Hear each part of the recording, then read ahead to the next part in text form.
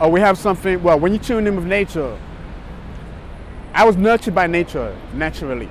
So when you tune in with nature, you, you honed in with nature. She has something, or Mother Nature's bestowed upon us something called a circadian rhythm. Circadian gives you a clue that it's a circle. We're in a cipher for you stupid flat earthers. Um, uh, circadian rhythm is like when the sun has gone down, your body cannot really metabolize the nutrients you need to be getting from these foods, from these natural sun-fired foods. When the sun has gone down, your body more or less shuts down, or that certain departments in your body shut down from the digestion process. You know, it, already kicks in. So eating after seven o'clock doesn't make no sense. The Europeans have got a thing uh, of, you know, having a romantic meal out of some funky ass restaurant downtown till 12, 1 in the morning. But that's the antic of Rome. We are not Romans, you know. It's romantic, an antic of Rome. But then you go home, all that gas is fermenting in your in your lower intestine. you're trying to sleep, that's crazy. Also, to tie that in, when we was younger, folks didn't know no better neither. So they would say, "Yo, have your supper and go to bed." But back then, depending on your age, most of our supper consisted of what? Cookies and milk, right? Now the cookies is very acidic. The sugar in there was acidic. The milk, we couldn't digest the milk. There's something inside the cow's milk.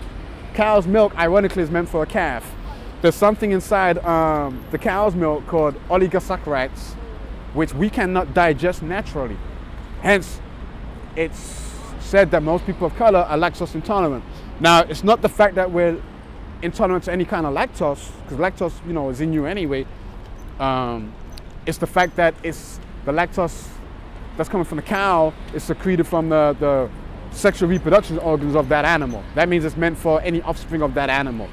You know, we do not grow that fast. Um, we cannot grow that fast with, with the enzymes that's necessary for a calf. That's not in our genome. Some other people, yes, they can take that. We, however, cannot. Once again, it's not racist teaching. That's to do with your haplotype and your genotype. You follow what I'm saying? So milk, cheese, we got a big thing in, in the urban community, especially with the sisters. They're hooked on chocolate. That's style milk. They're hooked on cheese. That's even worse style milk. You follow what I'm saying? Now there's something inside the cheese in the casein that they're synthetically addicted to, whether it's casomorphin or whether it's synthetic tyrosine. Tyrosine is something we do naturally have. Tyrosine actually is the, pre, the precursor to what your folk refer to as melanin. You may some hear some people saying, you know, melanin doesn't exist. Melanin is intelligent carbon. We are carbonites, period. That's the sixth element on the elements chart.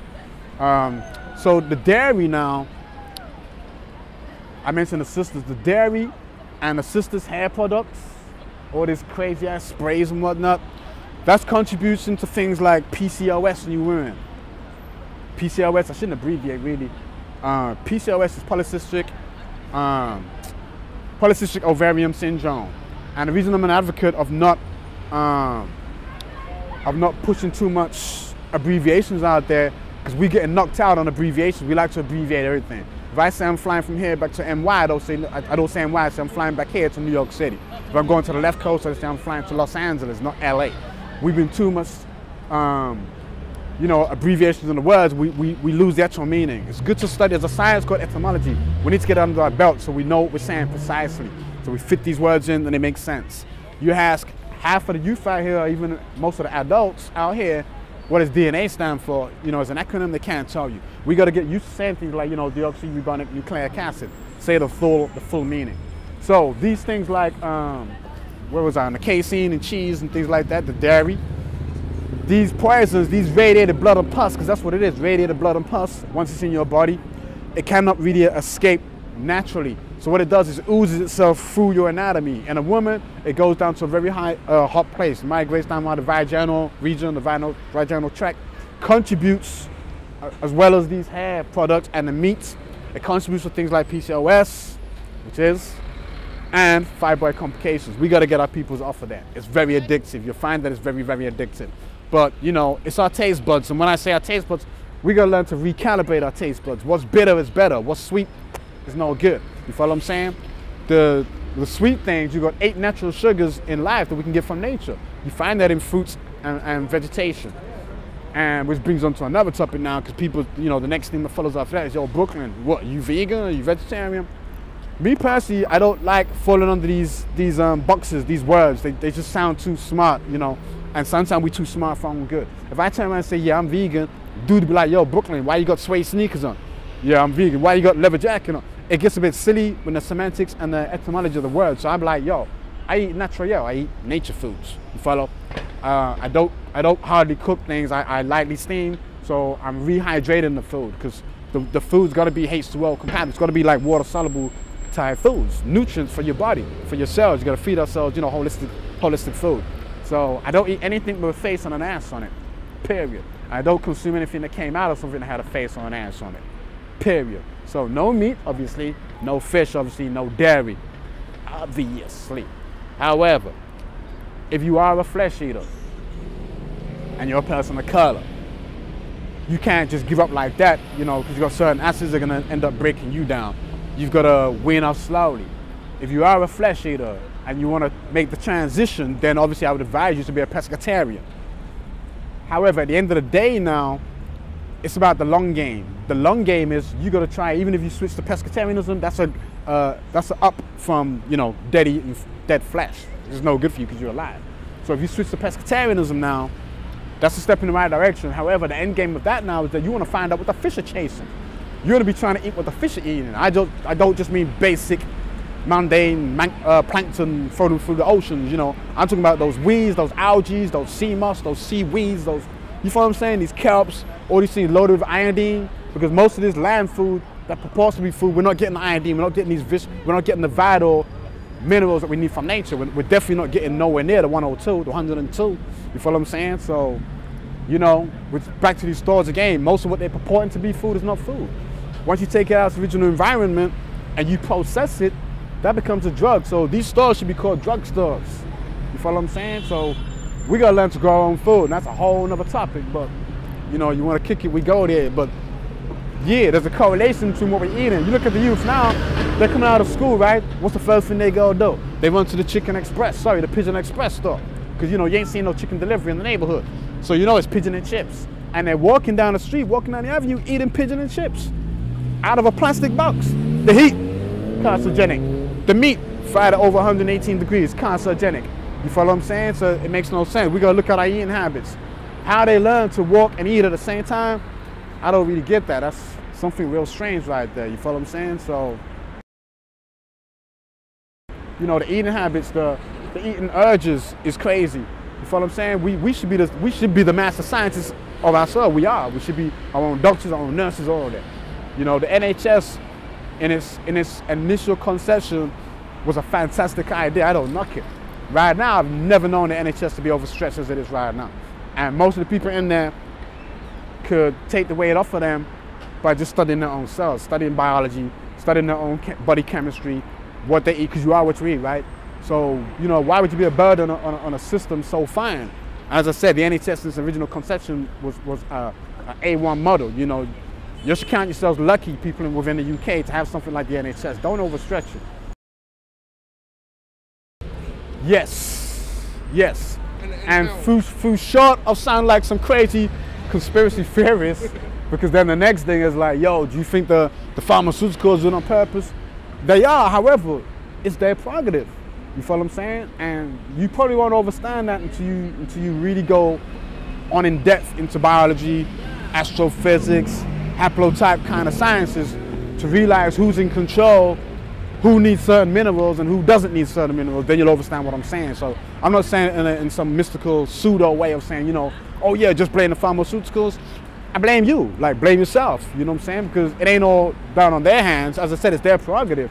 You know, if they own X amount of land, and and they know for a fact that most growth plantation needs what 60 odd minerals for for optimum growth, and but they can get away by their own laws and regulations by just putting free basic minerals in there because they know that X amount of people on the planet um, don't need or, or only need those minerals or can get by on those minerals and the rest of them stuff them, then it's their prerogative. We got to carve out our own land and make sure we get the, the right minerals in that ground.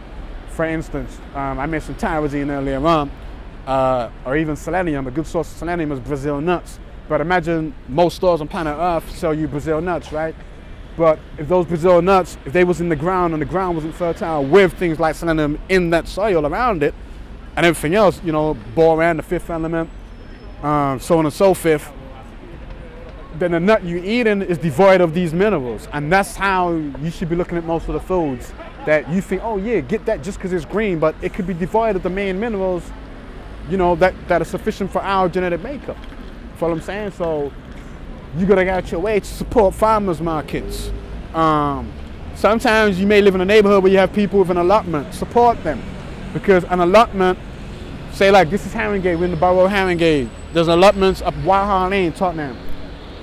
If you eat produce from people who've grown their food in that environment, within this nine square mile radius, that somehow is gonna help your immune system also if you if you consume food like that. You know, that hasn't been sprayed with certain chemicals and whatnot. You feel what I'm saying? Um, and you know, most allotments are protected. You get your netting, your fish netting, uh, glass greenhouses and things of that nature because you know you don't want to just grow something and then before you know it, foxes are urinating over it and foxes carry X amount of diseases. You know what I'm saying? It's gonna take you out. So you really got to be a connoisseur at this game, but you should be anyway, right?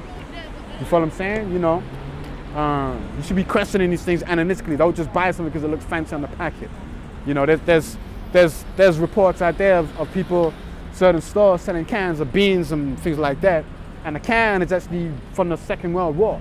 You know, they got them from these bunkers, and they just just need a printer, a nice picture, boom, put it on the, on the front of a can, and people buying it thinking, yeah, that looks good. By the way, we should not eat anything that's in a can. It doesn't make no sense. There's no life in it. So give up those canned sardines and all that. You dig? I wouldn't know that was cold until you told me. Now that's a saying of, um, see, I was brought up in the teachers on the WAPU, Dr. Malachi Z. York, the great.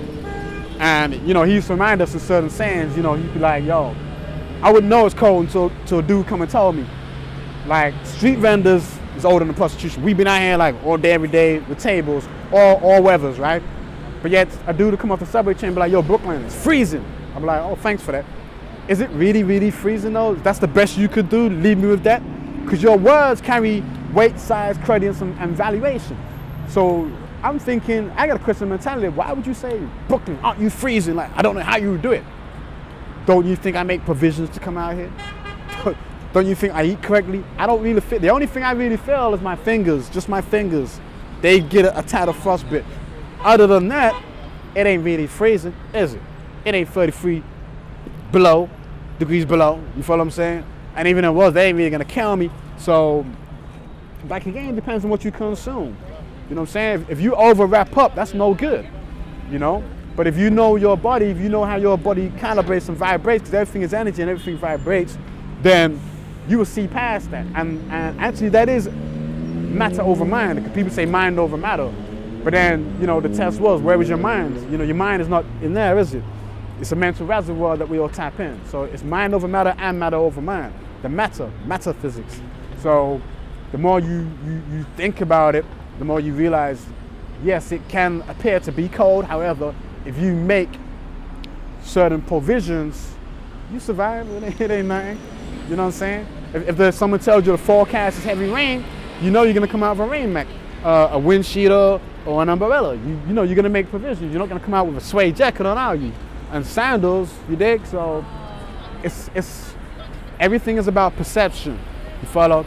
Um, I don't really listen to the weatherman because the weatherman's lying since they they never get nothing right, right? And in a place like London town, you know, you get four seasons in one day. You dig me? But um, yeah, back to the right foods because it does tie in. It, it, it, ties in. We are we are of the equator, right? So that's that should be our food base. You follow? We're of the regions, especially from the Americas, which is the Caribbean islands. That's the Americas and the motherland, uh, Nubia, Africa, Kush, uh, Kemet, Tamaray.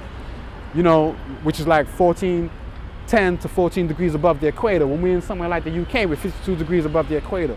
So it's imperative that you go out and eat your own kind of foods. Yeah, that's a good question. It's a good question because the, the actual depression and I can actually, um, I'm a siren. Depression and so-called mental health disorders, and even that, I gotta stop at this word, this mental health thing that's in the community. It's, it's, it, people say it like it's taboo, you know, mental health. Mental health should be a good word. It means you're mentally healthy, right? but they've switched it like mental health is something real bad. And you know, and, and real mental health is down to nutrition. It really is down to nutrition, you know, and the amount of light that's the amount of light that we receive through our eyes, because you eat through your eyes really, through your retina, and how it passes through the brain. You follow? So neuroscience is, is a must.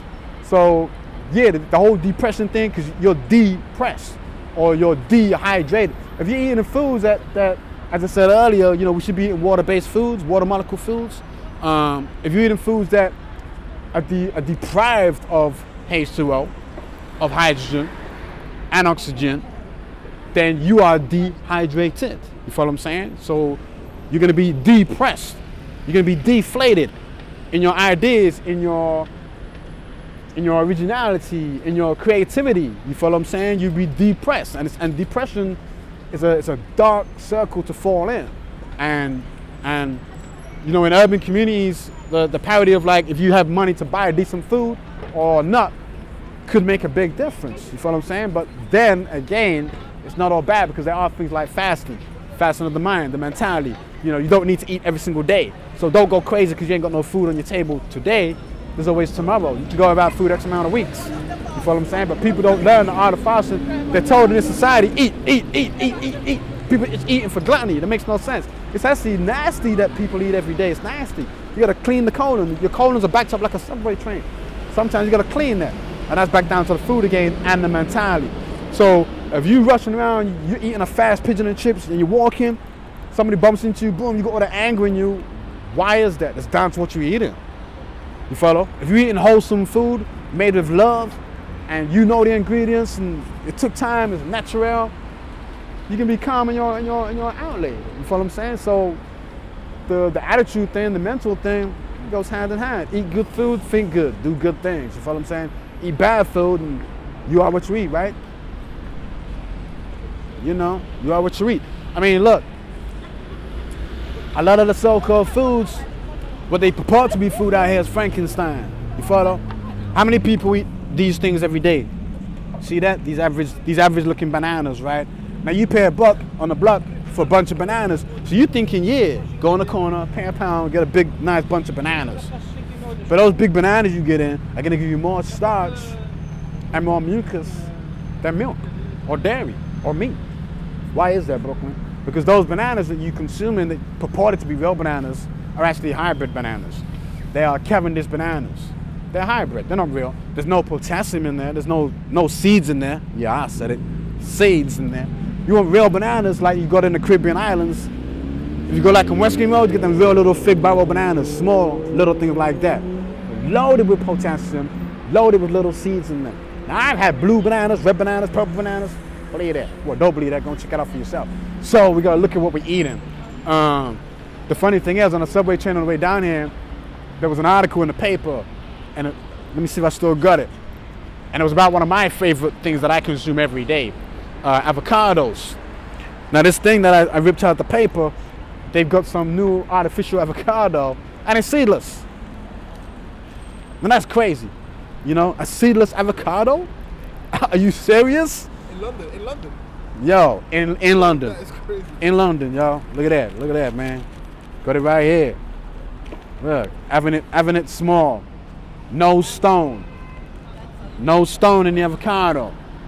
Yet I'm out here telling people we should consume the stone. Eat the stone, eat the pip. There's more nutritious value inside the actual seed pip stone than there is the actual fruit. We should consume the whole thing, apart from the skin, which is not really edible. You follow? But you know they're making uh, a pipless, stoneless avocado. Stay away from that. You know, like most of the children come out of school, they go to the store. You ask them their favorite grape, they say seedless grape. But a seedless grape, that can't be real. Seedless, that's gonna play your genetics. You follow? Only eat fruit with a seed in it. See what I'm saying? These these things what they're artificially making, stay away from. You know, whether it's through the science, aquaponics or whatever, it's not natural. Yeah, it's not it's not natural. It's not real. Leave it alone. To start, um, okay, and started, you got things like Dr. Sebi, Dr. Llaila Afrika, because when you're starting, a lot of people got to make that transition. So in transitioning, you got to go slowly at this. You follow? Uh, a good one is vegetarians versus dead flesh eaters. and that's by Dr. Llaila O. Afrika and Dr. Scott Whitaker. Also, you have things like melanin nutrition. Dr. Sebi goes without saying. You follow? And, and, and the best one, if people who are still consuming dead flesh and dairy, then the number one DVD I recommend to them is obviously Urban Kryptonite. No two ways about it. Urban Kryptonite is like the hidden colors of health and nutrition, period. And remember, it's not just the food substances, it's dirty diseases, electronic gadgets, like the great Dr. Delbert Blair, who's now an ancestor. He came to teach us when he was on this plane. You follow? Weather wars, Delbert Blair again. You follow? Where you have weather um, manipulation. You know, because certain countries do manipulate the weather. That's real. You know, just study your skyscrapers, study something called the HAARP Project.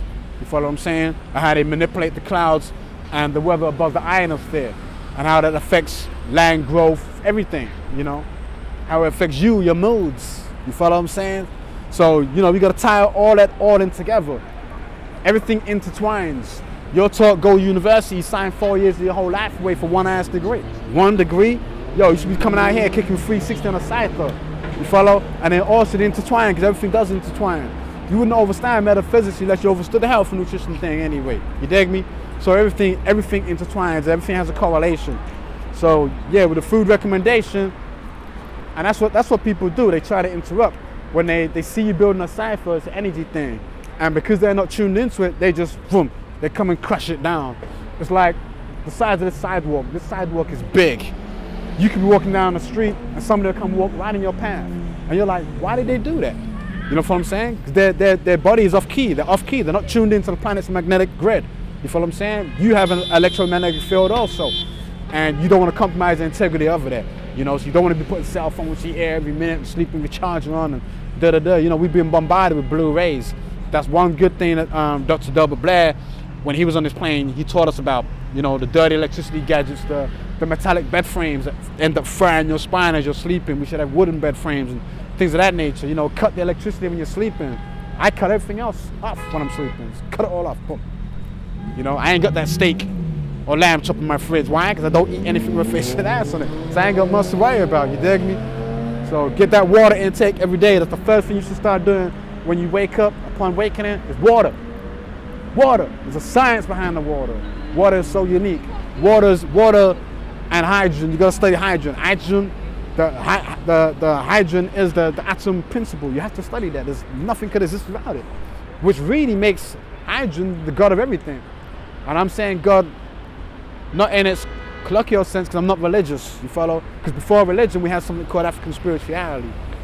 So you know, we need to get back to that, where you feel what's going on. You feel if you're in tune with nature, you feel things going on. Like you check out the animal kingdom, of which we are still a part. Um, the animal kingdom goes somewhere like Japan, a town called Napao or something. You know, a cow might sit down on the road. Boom. They, they, they, from that unknown, they didn't know the storm was coming. You know what I'm saying? Animals are in tune. Why aren't you in tune no more? You know, we should be in tune. We really should be in tune. You should, you should feel these things going on. You follow what I'm saying? It's, it's funny because some of my friends, when they come here at my table, like, yo, Brooke, I don't know what to eat today. I'm like, when you say to yourself, you don't know what to eat today, that's your real self telling you, you ain't meant to eat. That's what it is. You like, yo, I, I, just don't know what to eat. I just don't know. I don't know what I, I don't know what I fancy. I don't know what to eat. Don't eat. Just don't eat. That's the time to study more time. You follow what I'm saying? Because you don't need to be eating every single day, especially solids. You know, it doesn't make sense. You follow? We got to get that clear for back into our system. You know, learn how the plants do. As I said, like learn your symbiotic relationship with Mother Nature. You follow? Um, the plant. How do the plants get the energy? You know, a science called what? photosynthesizing, right? But we do the complete opposite, This is photovoltaism. So learn your symbiotic relationship with the plants. Don't eat foods that are made in a plant or produced in a plant, as in a factory plant. Plant life food, yes. Like grow your food, boom. That's real, real food, real food that has meaning, that has volume, that has, you know, all the things good to you. And get that sea moss, baby. get those, get that vitality going on. No, my friend, you interrupted before. Goodbye. So this is what they do. Goodbye. This is what they do, right? They try to interrupt you. That's very rude. buy one. Pause it. Pause it. Oh, I you buy one. I you buy one. Can you pause it? Yeah, let me pause it now. Because that's just too rude. I want you buy one. I want you buy one. And this is my teaching modality, you follow what I'm saying? As I said, vending is, is as old as, you know, whatever, whatever. Uh, you can holler at me via phone, that's 07 930 262 124, Brooklyn Qeq Nubar. Uh, also on YouTube, The Home Tree Stem. On Facebook, The Home Tree Stem. Um, and as I said, this is my teaching modality, my table, bring out. I'm here like more or less every day, all day, every day, you follow? Because I like to reach everyday people in everyday places from everyday races and everyday faces, you follow what I'm saying? And that's the street, you know, you can't really beat that. You follow what I'm saying? A lot of people like to hide behind this and that and Nah, I, I, like I like the interactiveness. You know, that one-on-one, we get that rapport, and you know, you can you can help people really get there and be questioned on the spot, and not hide and you know sound deep. I ain't nothing deep. With light beings having physical experience upon this plane. Seven Sisters is a location uptown, baby. And a big shout out to my to my my brothers, my peers, um, which is Black Child Promotions. You dig? But sometimes you may see us here in Seven Sisters on the south side of the Thames River, London, in Brixton. But we all over this, baby. Come and holler. You follow? Get these books, get these DVDs, get these body fragrances. Yo, these natural fragrances, that Egyptian musk, that frankincense, you follow? With no alcohol and no moody chemicals that's gonna burn up your skin like them Arabs, you dig me? You know, you see what's happening in Libya. I'm not best pleased. Yeah, come check out this. Everyone should know about Henrietta Lacks. Heal ourselves, you dig? True story, baby. Forget Amazon. Come come and support your boy right here. You dig me? Come and support your boy right there, man. But you know, I deal with everybody's knowledge. I don't just deal with one particular train. As I said, everything intertwined. So whether you Nuwaubian, 5%er, Rastafarian, seven day, whatever, whatever, you know what I'm saying? Hebrew, Israelite, we, five, we all one. You know what I'm saying? It's, it's all one, really. So, you know, no one should be egotistical saying, well, their thing is, is the truth and whatnot. You devise that on your own. You come to your own conclusions. You follow what I'm saying? So, you know, right now, the number one thing should be the health thing. It's the one thing we all got in common. You follow what I'm saying? All these stores in certain neighborhoods, like, why is that? Like, come on, man. You know? Y'all do the math. Come holler at your boy.